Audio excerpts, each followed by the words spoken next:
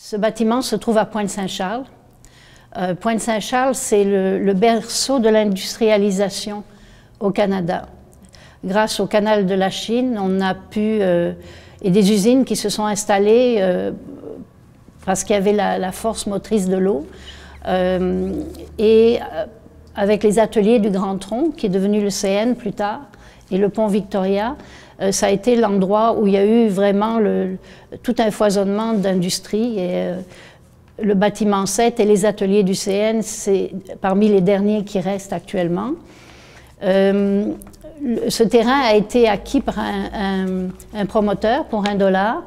Et nous, on a estimé à Pointe-Saint-Charles qu'étant les, héritiers de ceux qui avaient travaillé au Grand Tronc puis au CN, on avait droit à avoir une partie de, de, ce bâtiment, de ces bâtiments et de ces terrains pour pouvoir faire un projet euh, qui soit collectif et qui euh, euh, permettre aux gens du quartier d'exprimer l'art et puis de, faire des projets qui soient sociaux et qui permettent aux gens de vivre d'une façon intéressante et de gagner leur vie.